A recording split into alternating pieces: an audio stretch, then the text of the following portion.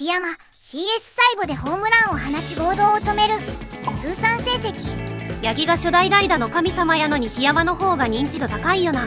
初代は真由美やぞ引退試合の後に CS 出場した男。あの時球場いたがホームランなければガチで何か起きてた。マジで最後のホームランは暴動を止めたわ。97年頃のブンブン振り回すスタイルのが好き。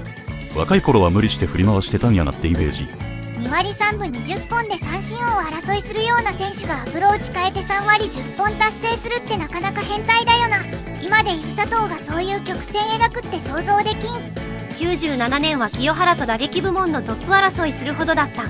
暗黒の一人が光の V センスになったと思うと面白いな。この人は実績も人気もあるのに引退後は阪神のコーチや監督の声がかからんな。応援歌のダンス好き。